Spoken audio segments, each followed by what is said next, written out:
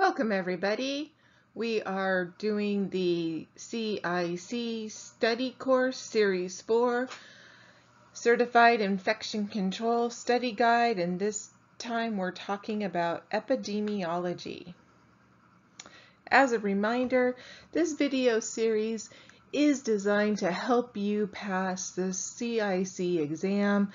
Not necessarily everything you need in infection prevention, but it is focused on exam materials as presented in the APIC Study Guide 6th edition. We will begin by talking about some basics in epidemiology. First, virulence, which has two elements. The first is the ability of an organism to survive in the external environment during the transit between the host. The second element is, is a mechanism for transmission to a new host. Targeted surveillance, tracking high risk, high volume populations like we definitely do in acute care settings. And then when we talk about biohazard and waste, we have to remember there are five factors that must be present for waste to cause infection, dose, host susceptibility, presence of a pathogen, virulence of a pathogen, and a portal of entry, way to access the body. More basics in epidemiology, the concepts of endemic, epidemic, and pandemic. So endemic and endemic disease, always present in the population. Like the flu, we're always going to have flu. However, some years we have an epidemic of flu, an increase in the disease incidence. And what we don't want at all is a pandemic, which is an epidemic that has spread over a wide geographic area. So endemic, epidemic, pandemic. Now we'll go ahead and talk about the concepts, concepts of sensitivity and specificity. So sensitivity is the true positive rate. So it measures the proportion of positives that are currently identified as such. So another way we can think about it as a percentage of sick people who are correctly identified as having the condition. Conversely, we have specificity, which is the true negative rate, and it measures the proportion of negatives that are correctly identified as such. So the percentage of healthy people who are correctly identified as not having the condition. So to remember these, we can remember that in sensitivity, sensitivity has an N. So the N in sensitivity measures the opposite, which is the positives. And conversely, the P in specificity, so it measures the opposite, which is negative. So if that is helpful to you. So if you find yourself struggling with these concepts when you go to answer the questions in the APIC 6th edition uh, study guide, you can refer to this link here. And I find this link, it's a YouTube link, to be particularly useful. It talks about uh, car alarms and setting car alarms and which way is, is best to do that. And it relates it back to the concepts of sensitivity and specificity. Moving on to some more basics of epidemiology. Now we'll talk about the positive predictive value, which is the probability of having the disease given a positive screening test that uh, in the screen population. It's the proportion of people with a positive test results who actually have the disease. So this is what we call a two by two table, and we'll see these uh, a few times here in this presentation. So at the top we have truth, those that have the disease and those that do not have the disease. And then there on the left side we have the test result, positive and negative. And so in the A box we have true positives. The patient has the disease and the test result picked it up as positive. Then we have people that do not have the disease and but the test results said they did. So those are B, the false positives. Then in C, we have people that have the disease, but the test result was negative. So these are false negatives in box C. And then in box D, we have um, the true negatives, which they do not have the disease and the test result got it right and resulted in negative. And then we have um, column totals at the bottom and row totals going across. So positive predictive value, it's a necessary part of our job to realize that the tests that we look at are not 100% uh, accurate. So positive predictive value, probability of having the disease given a positive screening test, um, proportion of people with a positive result who have a have a disease. Let's look at an example here. So positive predictive value can be a tri tricky topic. So you will have to make a judgment based on your experience and time to prepare for the CIC, uh, how much you, you spend on this. Uh, but it is my job here to present all of the information to you and then you can um, decide how much time to spend on the various topics. So in our example here, though, we have 200 patients which are enrolled in a study to evaluate the accuracy of a new ELISA-based test, the diagnosis of influenza. Remember an ELISA-based test we talked about before, the enzyme-linked immunosorbent assay. Um, 100 patients were diagnosed with influenza by the reference standard and 80 of the patients with influenza had a positive ELISA-based test, as did five patients without influenza. So our question is, what is the probability of influenza in a patient who tests positive on the ELISA-based test? So we're starting our two by two. We have positive and negative. Um, we remember our formula here is true positives divided by true positives plus false positives. So we have influenza yes, influenza no in our example, and we're testing the ELISA. So in our problem, we're told that 100 patients were diagnosed with influenza. So we say, okay, 100 down here at the bottom, and it's a total of 200 patients. So we have to have, if 100 patients had it, then 100 patients didn't. we'll start filling in our box. We put the 80 in what would be box A because we are told 80 of the patients with influenza had a positive ELISA. So that goes in that box. And then we're also told that five of the patients um, without influenza tested positive. So that goes here in box B, no influenza, but the ELISA said there was. So now we're going to kind of make the columns add up for the uh, remaining boxes that are empty. So if we subtract um, 80 from 100, we get 20. And uh, 5 from 100, we get 95. So in predictive value uh, calculations, we add up horizontally. If we were going to do calculations on sensitivity and specificity, we would add vertically the columns, but uh, the CIC study guide doesn't suggest that you need to know how to do that, so I didn't cover it. So we're going to go ahead and add horizontally for this. So if we add 80 plus 5, we get 85. 20 plus 95, we get 115. So we have our totals as well. So now we can go ahead and look at our calculation. True positive, so we have 80 true positives divided by the total positives and or the true positives and the false positives, so that's the 85 there. And if we multiply by 100 to get the percentage, we get 94%. So 94% of our patients um, actually had the disease and have a positive test. So that is a example of how to do positive predictive value. And here is the reference I used uh, for this example, the link, and then the uh, original author.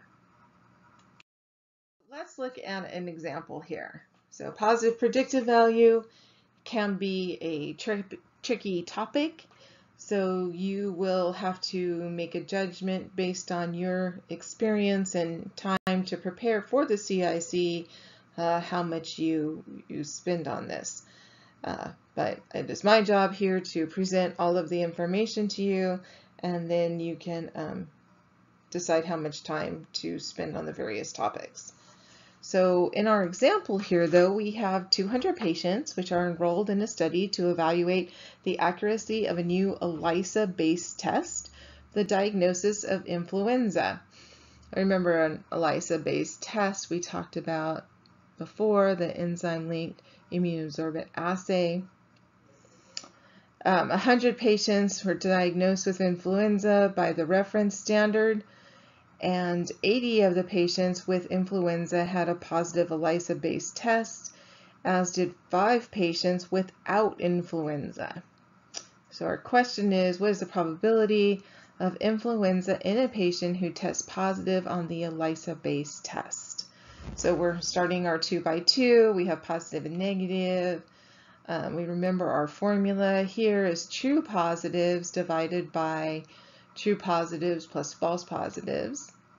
So we have influenza yes, influenza no in our example, and we're testing the ELISA. So in our problem, we're told that 100 patients were diagnosed with influenza. So we say, okay, 100 down here at the bottom, and it's a total of 200 patients. So we have to have, if 100 patients had it, then 100 patients didn't. We'll start filling in our box. We put the 80 in what would be box A because we are told 80 of the patients with influenza had a positive ELISA. So that goes in that box. And then we're also told that five of the patients um, without influenza tested positive. So that goes here in box B, no influenza, but the ELISA said there was. So now we're going to kind of make the columns add up for the uh, remaining boxes that are empty. So if we subtract um, 80 from 100, we get 20. And uh, 5 from 100, we get 95. So in predictive value uh, calculations, we add up horizontally. If we were going to do calculations on sensitivity and specificity, we would add vertically the columns, but uh, the CIC study guide doesn't suggest that you need to know how to do that, so I didn't cover it. So we're going to go ahead and add horizontally for this. So if we add 80 plus 5, we get 85. 20 plus 95, we get 115. So we have our totals as well. So now we can go ahead and look at our calculation true positives. So we have 82 positives divided by the total positives and or the true positives and the false positives. So that's the 85 there. And if we multiply by 100 to get the percentage, we get 94%. So 94% of our patients um, actually had the disease and have a positive test. So that is a example of how to do positive predictive value. And here is the reference I used uh, for this example, the link, and then the uh, original author.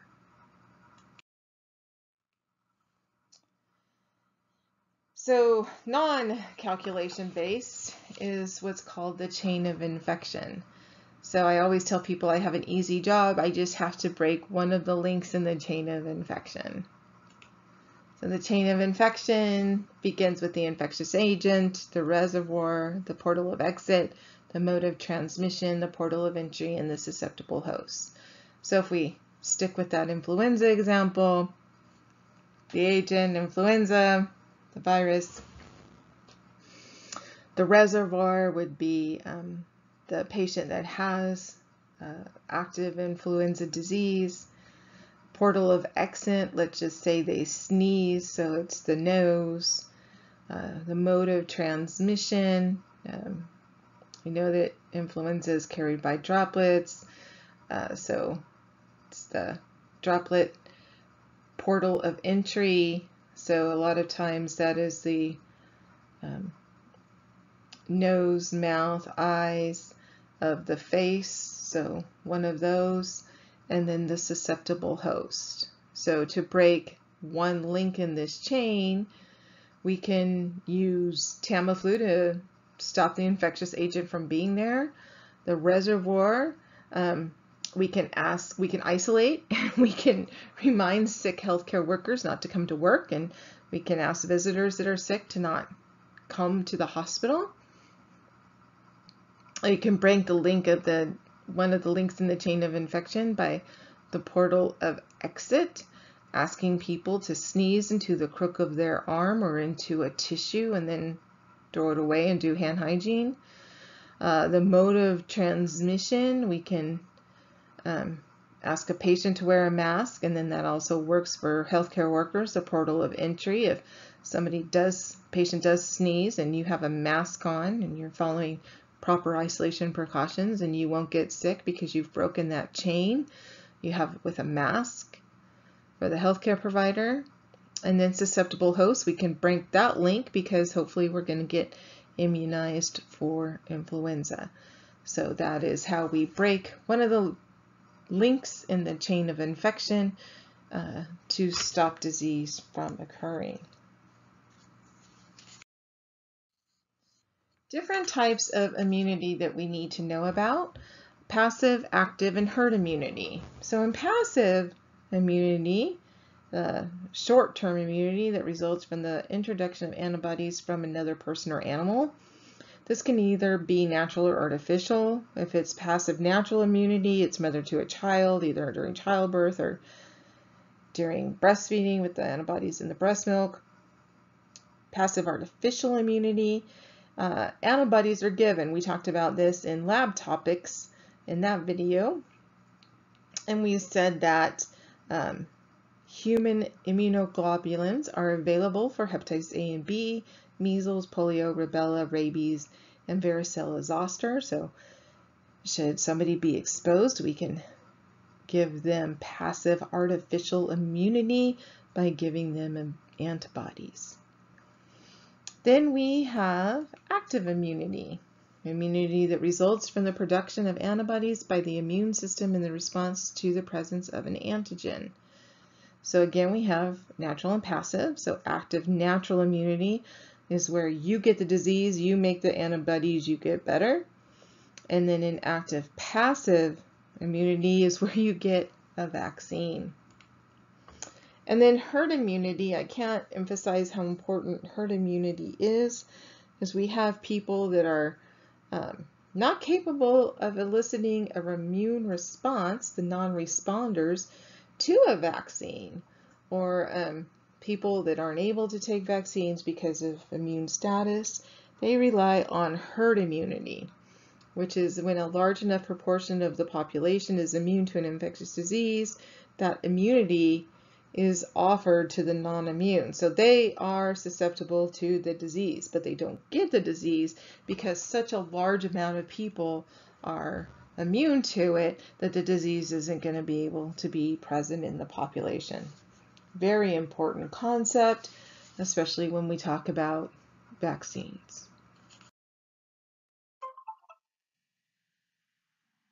So now we'll talk about causation. And this is really what we want to find. We want to find a relationship between cause and effect when we're doing research. So yes, we want to say smoking causes lung cancer, among other health problems, so don't smoke. So we want to do this in public health so we can drive um, healthy behaviors. So to do this, a lot of times we use Hill's criteria of causality. So there's actually nine different elements. I'm not going to go through all of them. I'm going to go through the ones that are mentioned in the application guide. Beginning with strength of association. And so this says that the incidence of disease should be higher in those who are exposed. Of course, that makes sense. Um, specificity, the evidence that the independent and dependent, dependent variables relate. And then consistency, which is really important in that we see the association in, in more than one study. So, you know, you see something and you think it's worthy of uh, attention and so you publish it and so can other people uh, find that same association. So consistency, another one of Hill's criteria.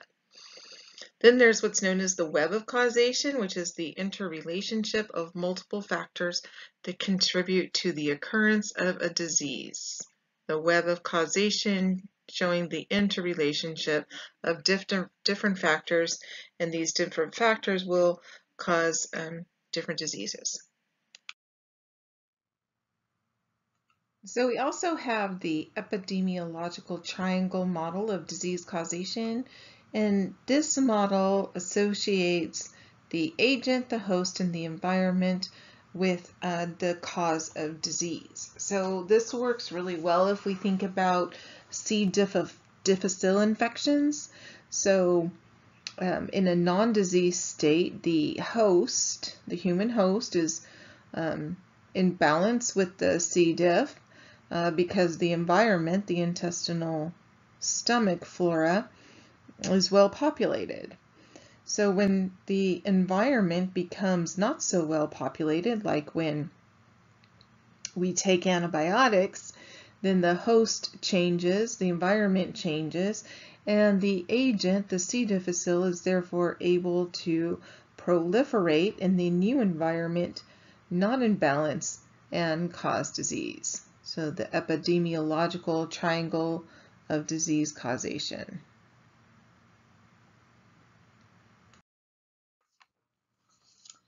Outbreaks.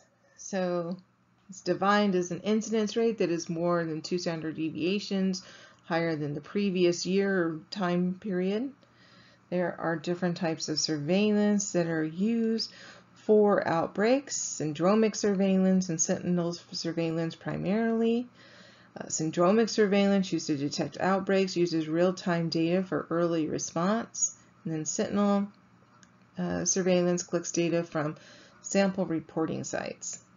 And then sometimes we have a pseudo outbreak which is an apparent increase in disease incidence due to unrelated circumstances. So just remember that not every time somebody comes to you and says, we have an outbreak, it doesn't mean we do. Sometimes it's a pseudo outbreak. There are different steps in identifying er, uh, an outbreak and conducting an outbreak investigation. And I don't necessarily want you to memorize these, but I want you to think about them and the order in which they go because it, it's very logical and intuitive. So first we have to confirm the presence of an outbreak. Like I said before, just because someone says, oh, we've got, you know, this going on doesn't actually mean we do. Maybe they're new to the community and they've never seen a, a disease, but it's actually a disease that's endemic in your area. So you have to always confirm the presence of the outbreak. Sometimes you're doing this uh, by looking at lab results or uh, discharge coding or something of that nature. Once you confirm the presence of an outbreak, then you're going to alert key partners about the investigation. In other words, you're not going to go to your CEO and say, we have an outbreak until you have confirmed that that outbreak exists. Then after you've alerted the key administration and key partners, you're going to perform a literature review to learn more about uh, the disease or the pathogen involved. Then you're going to establish a preliminary case definition. So a case definition, this is identifying basically who this disease is affecting. So is it affecting males or females? Is it affecting the elderly or the young? Or is there no uh, involvement of age whatsoever? Is affecting patients of all ages? Is it affecting uh, uh, females? And then if so, is pregnancy? Is it only affecting pregnant females? So you start developing this case definition. Who is involved? You know, what does the patient population, you know, quote unquote, look like?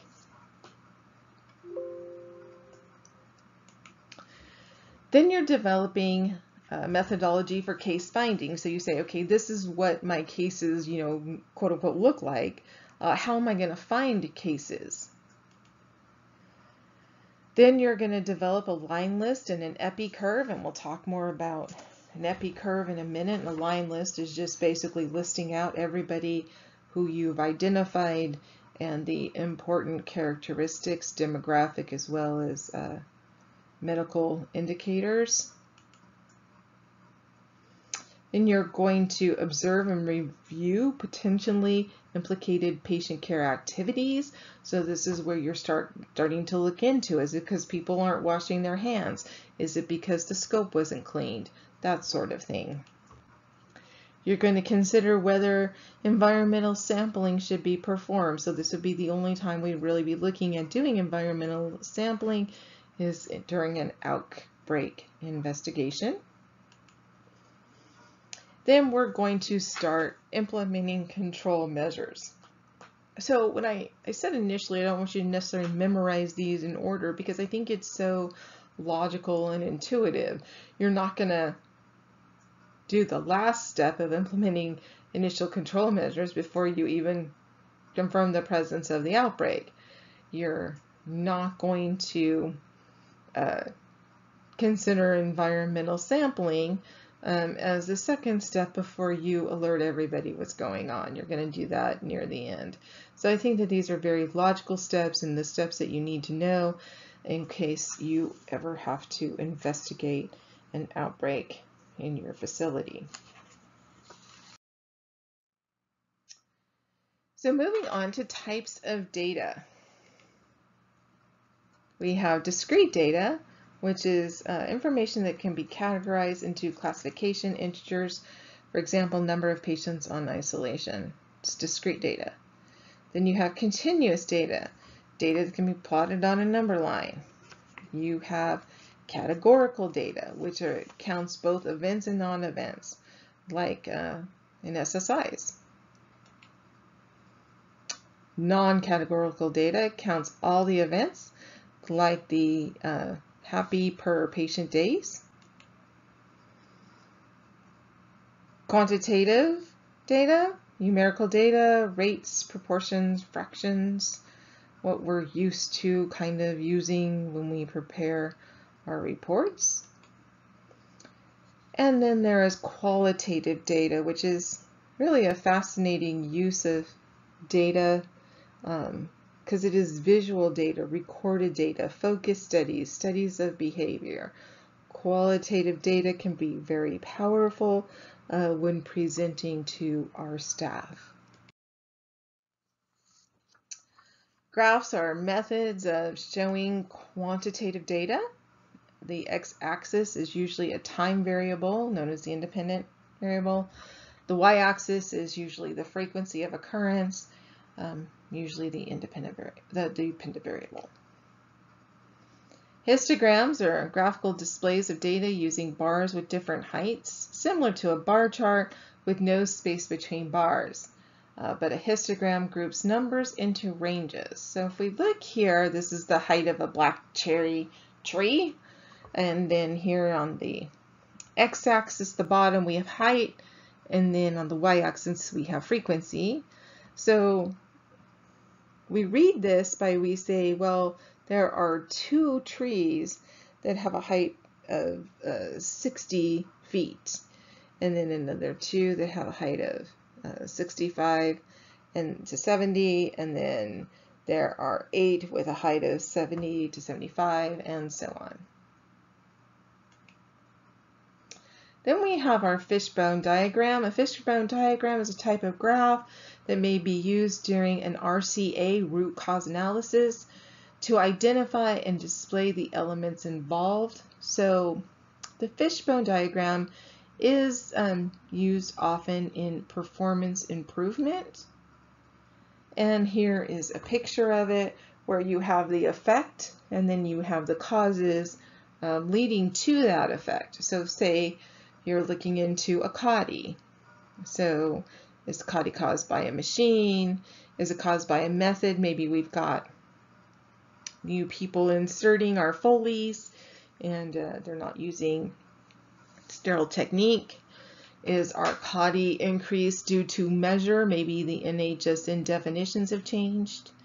Is it due to materials? Do we have contaminated materials? Have we changed our packaging so people aren't using the materials correctly? Is it just a people issue where we've got a lot of um, overworked people? Is it always occurring on night shift or something like that? Is it an environmental issue? Is there something going on in the patient care environment which is contributing to that effect, in our case, in the number of CAUTIs? Fishbone diagram, powerful tool during RCA and performance improvement in general.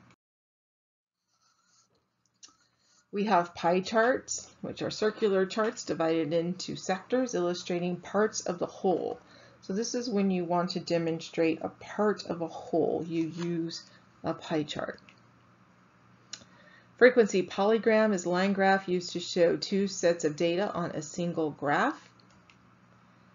The run chart used to identify trends over time. It's basically a line graph, but you're looking for trends over time. And then the Pareto. The Pareto is a decision-making tool used for the selection of a limited number of tasks that produce an effect. It employs what's known as the 80-20 rule, which means if you solve 80% of the problem, you're doing pretty good. So this can be used in just a variety, again, of uh, performance improvement activities. A lot of times you have to say, okay, you know, we're trying to improve hand hygiene. So I'm going to look at my compliance rates across all disciplines. And lo and behold, I notice that physicians have um, the highest rate of noncompliance, followed by our environmental services staff. And together, those two groups make up 80% of my noncompliance. So I'm not going to worry about the 20% of nurses and rad techs and pharmacy techs that aren't doing hand hygiene. I'm going to focus on my 80%, my physicians and my EVS staff that um, aren't doing hand hygiene correctly, and I'm going to target that group. And so when you do that, it's nice to have a Pareto chart to um, justify why you've made certain decisions for performance improvement. We're now going to move into talking about calculations associated with epidemiology. Now these calculations are basic um, in terms of the actual math involved. In the CIC exam, you'll be given a calculator and then either a piece of paper and a pen, or I was given a whiteboard with a dry erase marker. So you are going to be able to do these calculations in epidemiology in general the calculation part, the math part isn't difficult, but it's knowing what to put in the calculator. so first of all, the crude mortality rate is just like it suggests. It's the total number of deaths from all causes divided by the population, then multiplied by some multiplier, which is either 1,000 or 100,000. So here the numerator, so the number on top, there's the number of deaths. And usually that's what the numerator is. It's the number of, you know, what you're, what you're counting. So in this case, it's the number of deaths. If you're looking at CAUTIs, it's the number of infections you have over the Foley days. If you're looking at uh, compliance for hand hygiene, the numerator would be how many times they did hand hygiene and then the denominator in this case is the size of the population. Um, and that's also very common. So the denominator is over the total. So you're going to put the numerator over the denominator, which is kind of the whole total that you have. And then here it's expressed as per 100,000 population, which is also pretty normal when you're dealing with large numbers like this. So your example for crude mortality rate, the United States in 2003, a total of 2,419,921 deaths occurred. the estimated population was 290,809,777. The crude mortality rate in 2003 was therefore, and then you do the division of the numerator or denominator multiplied by 100,000, which equals 832.1 deaths per 100,000 population. Cause-specific mortality rate, the number of deaths from a specific cause, divided by the total population and then multiplied by a multiplier. So our example here is in the United States in 2003, a total of 108,256 deaths were attributed to accidents, yielding a cause-specific mortality rate of 37.2 per 100,000 population. Crude mortality rate, cause-specific mortality rate. Continuing with calculations, the case fatality rate, the number of deaths from a specific disease out of the total number with the disease. And here our example is say we have a community of 300,000 residents, 5,000 have AIDS, and 200 have died of AIDS in the last year. What is the case fatality rate? Well, we give you more information than you need because it doesn't matter that there's 300,000 residents. What you're doing in the case fatality rate is you're taking the number that have died over uh, the number that have the disease. And then you multiply it by a multiplier. In this case, it was just by 100 to get a percent.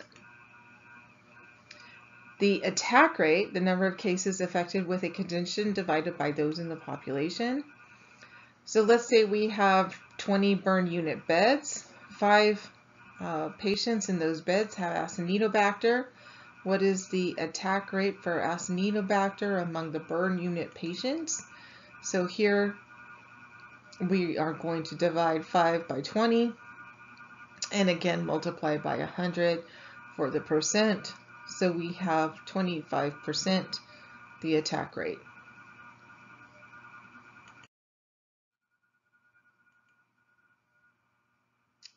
The surgical risk index is a score used to predict infections. So you would get like one point for ASA of uh, three, four, five. You get uh, more points for the operation was contaminated or dirty or longer than expected. This is a relatively old way now of calculating surgical risk. So now we use the SIR. This is talked about in the certification study guide, so I mention it here, but um, it, it's now been really replaced with the SIR.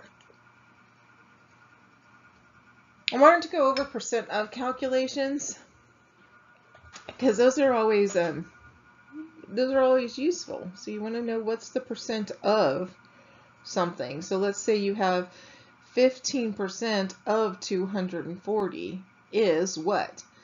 So you turn that 15% into a decimal, so you have 0.15, and you multiply it by 240. You know to multiply it because of the word of, so of in an equation like this means multiply, and then is means equals. And then if you do that math on your simple calculator, it's a 36. And then percent compliant. Uh, again, we do these a lot especially like in a hand hygiene or something, or vascular access device audit, um, whatever we're looking at. In this example, we're saying that we have 10 hand, hand hygiene opportunities and 8 hand, hand hygiene was appropriate, was conducted as appropriate. So 8 divided by 10 multiplied by 100 is 80%. So that's percent compliant.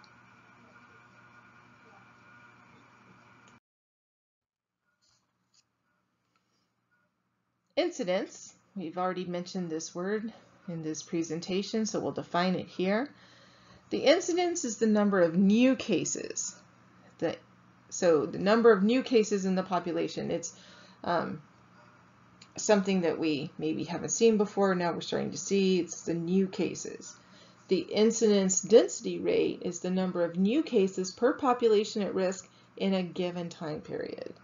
So you just kind of carry that one step further, incidence is always the number of new cases. Prevalence is always the number of existing cases, those that um, are always there in the population. Attributable risk, the cases attributable and avoidable to the exposure in relation to all causes, and we have a formula here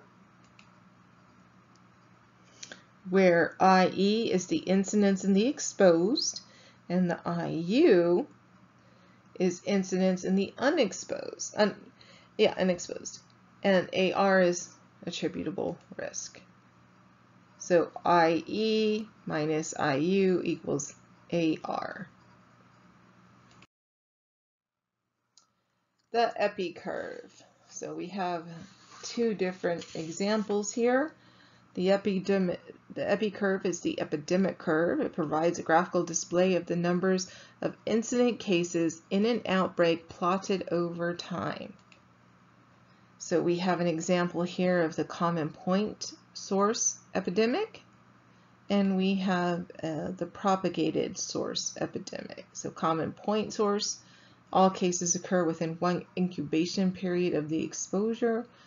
Propagated infections are transmitted from person to person, which is why you don't see everything happening in one given time. So here the example of our common point source epidemic is the example of the Broad Street pump, which of course is the father of epidemiology, John Snow, in London realized that um, the cholera cases were linked to the Broad Street pump being contaminated, so he simply removed the handle, and once he removed the handle on that pump, uh, the number of cases dropped dramatically. Common point source epidemic. Measures of central tendency the mean, mode, and median. With the mean, it's the traditional average most affected by outliers. So you add up all the numbers and you divide by the numbers you have. The mode is the number that appears most often. So in the first example of the mean, our average was 5.7. The mode, however, is 4. And then the median, the number in the middle of the data set. So you line up the numbers numerical order and find the one in the middle. Um, the median here is 5. So the 4 and the 6 are in the middle, so you find the traditional average of those, and then that's your median. In this example, it is number 5. Scales of measurement, which are ways in which variables, numbers are identified and categorized. So you have nominal, categorical data and numbers that are simply used as identifiers or names like numbers on the back of a baseball jersey or your social security number. Ordinal, an ordinal scale of measurement, represents an ordered series of relationships or rank like the ranking of competition, first, second, third, etc. Interval data, a scale that represents quantity and has equal units but for which zero represents simply an additional point of measurement. Ratio, the ratio scale of measurement is similar to the interval scale, and it also represents a quantity and has equality of units. So different scales of measurement.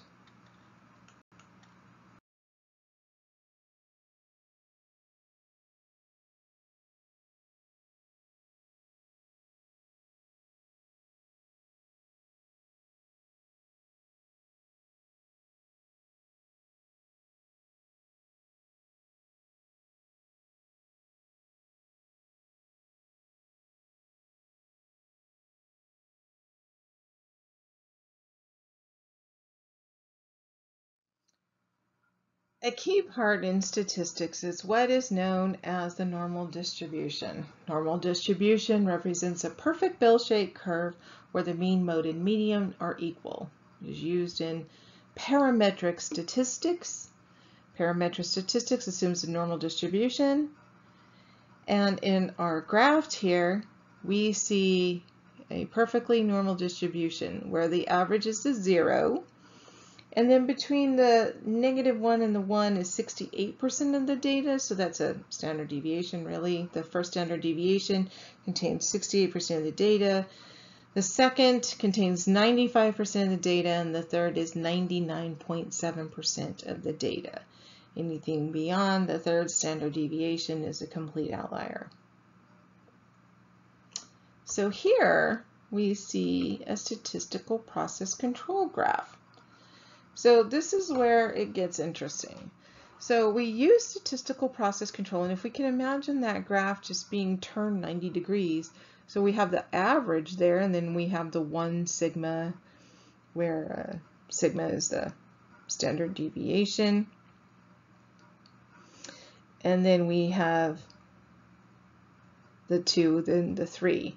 So really, when we use statistical process control, we are using this concept of how far out or how distributed the data is. And so we can see that when we have a um, outlier, something that's above that 3 sigma line, it is a special cause variation because it's in the uh, complete outlier range. Um, it's excluded from 99.7% of the data set. So statistical process control, upper control limits, lower control limits, and then the amount of data that we have within the different standard deviations. Key concepts in statistics. Standard deviation we did just talk about. So standard deviation is the measure of dispersion, like we saw, of the raw score that reflects a variability in the values around the mean. Then we talk about hypothesis testing. Hypothesis testing is used to determine if a study is statistically significant. So we always have what's known as the H naught or the null hypothesis and then the alternative hypothesis with the HA. Um, and we're using these to see if there's a change in the data set. So we have two types of errors surrounding hypothesis testing. Uh, type 1 error is concluding there is a change in the data when there's not. And then a type 2 error is concluding that there's not a change in the data when there actually is. So a type 1 error, and this is just a silly thing that I was taught, and it helps me to remember the difference between these. So hopefully it'll help you. A type 1 error concluding that there is a change in the data when there's not is because you think you're number one. So as a researcher, a researcher always wants to show that there's a change, right? That their study is statistically significantly different, that uh, what they've done has worked and shown a change. So a type 1 error is when you think you're number one, that your data is so great and your study was so great that you're saying, oh no, I found an, a difference, uh, but there really wasn't one because you're thinking you're number one and you're so arrogant. And then the type 2, of course, just, just is the um, opposite of that. So hopefully that little trick helps you. It's kind of always helped me. So now we'll talk about the p-value. So the p-value is how likely it is that the true value is represented. So it's the probability of rejecting the null hypothesis when it is true. So how likely is the result of chance? And we usually set our p-value at 0.05 or 0.01. So if we have a p-value of less than 0.05, it's generally considered statistically significant. It is related to what's known as the power of the test that you're using. And we always have to remember that the greater the sample size, the greater the statistical power. Then we also see confidence intervals. So a confidence interval describes the amount of uncertainty associated with a sample estimate of a population parameter. As the sample size increases, again, the confidence interval becomes more precise.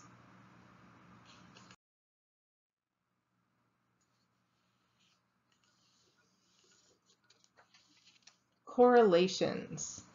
So correlations are really interesting in statistics. It shows the strength of the relationship. So a perfect relationship, R, has a plus or minus 1. Um, if the variable increases and causes the other to increase, or if the variable decreases and causes the other to decrease. Um, so if we have a correlation of r equals 0, that means no relationship. And if we have a correlation of uh, 1, it means a perfect linear relationship. And so the range is negative 1 to 1. Uh, negative 1 would be a negative correlation. Positive 1 would be positive correlation. So here on the right, the positive correlation, you see that as one thing increases, so does the other. So back in 2014, I did an APIC poster on this using um. So it just occurred to me as I was looking at our data that during this one time period, uh, just as the number of cases of community onset C. diff, we saw there was just really a direct correlation with how many hospital onset C. diff we saw. And this is actually to be expected. It's why you put uh, the community onset C. diff into NHSN, you know, and you, you enter all of that C. diff data, whether or not it's hospital onset, they actually use this in the calculation for your SIR. And I was certainly seeing that in our hospital that the more community onset we had, the more hospital onset we had. So then we really worked on C. diff for a year, did a variety of performance improvement projects and implemented a whole lot of changes. And then the next year, I didn't see that. I didn't see that our hospital associated C. diff went up with our community associated C. diff. And you know, that was really exciting because it showed that we're not passing it on at the same rate. So that was what the poster was about. It was about not having this correlation, which usually in research you want to have the correlation, but in this example it was exciting to not see that, to see that we were actually um, not having the same amount of hospital C. diff, hospital onset C. diff um, when we continue to have the same amount of community associated. So this is really how these data, these uh, different types of statistics and all can be very useful in our, in our areas. A perfect negative correlation, maybe you have a study where you're looking at hand hygiene and HAIs. So you would want a negative correlation here. Um, of course, you're never going to get perfect when a you're dealing with world life, real life situations. But something that would uh, certainly be interesting to look at is, you know, if your hand hygiene compliance goes up, does your HAIs go down? So it would be interesting to, you know, do a project and be measuring hand hygiene compliance and then hopefully watch that as that goes up, then HAIs goes down. So that would be an example of a negative correlation. The caveat here is correlation does not mean causation. So just because two things are correlated doesn't mean one causes the other. So for an example, let's just say that in the 1970s, a study was done that showed a near perfect linear correlation between pant size pocket, so the pocket of the, the pants, and the mortality rate. So does pant size pocket um, really mean death? Well, actually, what it meant was that uh, men who were smoking would buy pants that had larger pockets so that they could carry their cigarettes. So this was back in the 70s when a lot of men smoked, so they wanted to buy those pockets that were large enough to accommodate the pack of cigarettes. So the pant pocket size did not determine death. It was a, a factor uh, that was used to say, look, cigarettes are bad for you, and if you carry cigarettes, you're likely to smoke, and the smoking is what causes the death. So correlation does not mean causation. That's your caveat there. Kurtosis measures how flat or peaked a curve is. It's a value of zero is a normal distribution. If you are plus on the kurtosis scale, it's called leptokurtic, and it indicates a larger peak, where a negative on the kurtosis scale indicates a flatter curve, as you're seeing here. So kurtosis. The chi-squared test. It's used on discrete data, remembering that that's counts or frequencies. Then making a 2 by 2 table, we gave you an example of that before when we talked about positive predictive value. And we use it when the sample size contains at least 5 in each of the cells of the table. It may be used to calculate an odds ratio or relative risk. Then the Fisher's exact test is used when the sample size is small, non-parametric statistics. A lot of times you can't get that normal distribution with a small sample size, so no, no assumptions are made about distribution. Tables arrange data in rows and columns.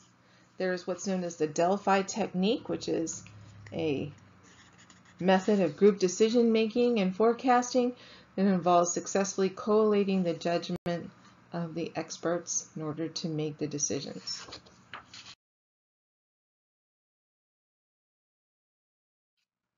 Research. So we often read our research journals, or at least we should.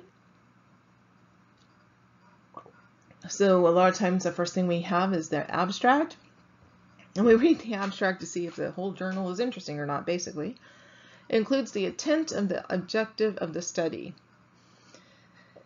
Then comes the introduction, states the reason for the research, identifies and discusses the findings of others, includes a review of the literature. Methods describe the research population and method used to collect and analyze the data.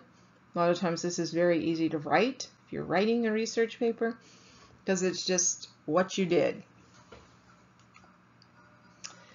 Then the results summarizes results and presents the findings using text, charts, graphs, and tables. So this is, a, uh, again, pretty easy section to write because you're summarizing everything. Then you do a discussion, which you're analyzing the findings, explaining the significance, the limitations, biases, internal validity, and you're perhaps suggesting future projects based on what you did. Elements of a journal article. We have different studies in, in uh, epidemiology, beginning with the observational study, which uses the 2 by 2 table. Um, these are descriptive studies, describe those affected in terms of time and place. There's two types of um, observational studies, case controls and cohorts. So a little bit more on the 2 by 2 table. So let's say in our example we have a thousand people. 600 are smokers with cancer. 100 are non-smokers, don't have cancer. 200 have smokers, no cancer. 100 non-smokers and do not have cancer. So we'd fill out our disease, our um, two by two table like this. We'd say disease status here at top, exposure status on the side. Yes, no, yes, no. So our 600 smokers have cancer. They come here in the A box. Then 200 smokers, no cancer. So 100 non-smokers have cancer and then 100 non-smokers no cancer. So that's how you would populate a 2 by 2 table. And we have a case control study. We remember we had two different types of observational studies that we will be talking about because that's what they mention in the CIC study guide. The first here is the case control study where you have two groups. You have a case and a control group. Test groups with different exposures. So we're looking for different exposures here. Controls have the same characteristics of the cases with the exception of this exposure. So when you're dividing your population into cases and controls, You only want the one difference of exposure. Case control studies allow us to collect data retrospectively. They are cheaper, quicker, and require few subject, fewer subjects in cohort studies. And we calculate an odds ratio. And we do this by dividing A and D by B and C. And we interpret the odds ratio really similar to a SIR, which is why I put it in here. Uh, if you have odds ratio less than 1, the odds of exposure is the same in cases and controls, or as a result of greater than 1, the odds of exposure is more in cases than in controls. So here we are using our same example as we had before with the smokers and non-smokers. So we have disease status, exposure status, and so we have our 600 um, smokers up here that develop cancer, and we have our 200 um, smokers that don't have cancer, 100 smokers, non-smokers with cancer, and 100 non-smokers no cancer. So if we want to figure out the odds ratio, it's A and D, which is 600 times 100 divided by 200 times 100. So for 3, so 3 is greater than 1, so the odds of exposure is more in cases than in controls, which is as we would expect.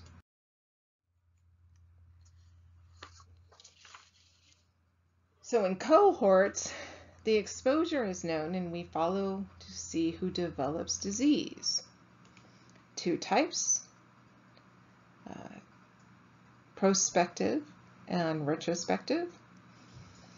So in an observational cohort study, subjects are enrolled or grouped on the basis of their exposure, then followed to document occurrence of disease. Prospective and retrospective cohorts.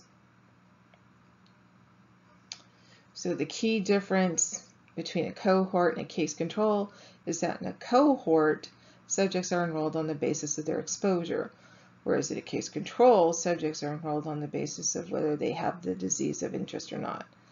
Both types of studies assess exposure and disease status. So in cohorts, we calculate relative risk. Risk is the probability that an adverse event will occur And incidence, uh, how we calculate relative risk is incidence in exposed divided by incidence in unexposed. And it is influenced by sample size, as so much of statistics is.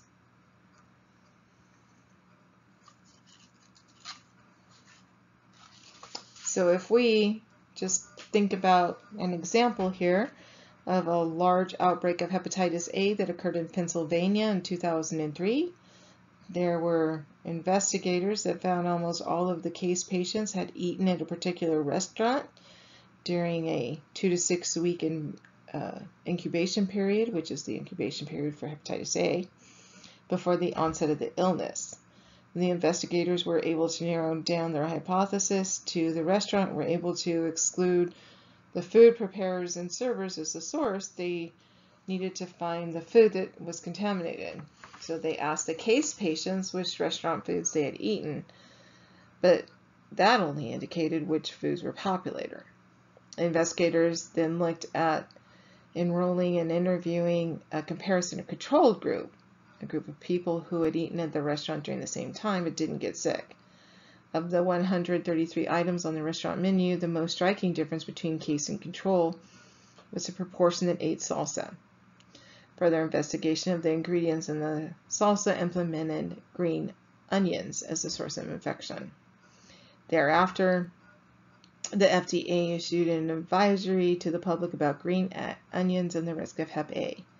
This action was in direct response to the convincing results of the analytical epidemiology, which compared the exposure history of case patients with that of an appropriate comparison group. So which type of an investigation is this? This is a case control investigation. Cohort and case control.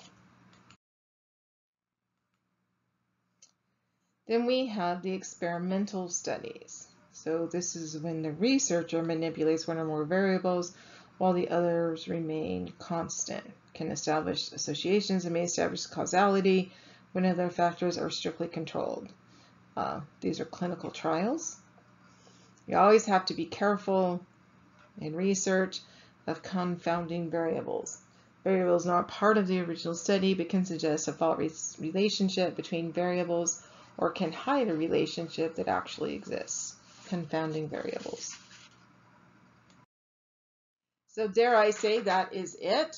Again, please review this section, which has been very long, and then refer to your APIC Certification Study Guide, 6th edition, for these questions in epidemiology. So as a reminder, you'll go to chapter 3 and look at question number 11, and that information will have been presented in the video here, and hopefully you can answer that based on your learning of this information. Then you would go to chapter 4 of the APIC Certification Study Guide 6th edition and look at all these questions, questions 1, 2, 5, 6, 10 through 38, 41, 42, 44, 45, 47, and 50, and be able to answer those questions, and then chapter 5 and chapter 8, and so on. For more information, please resort please look at the resources listed here. And please remember to subscribe to our channel and to like this YouTube video. Thank you so much for listening and good luck in your studies, everyone.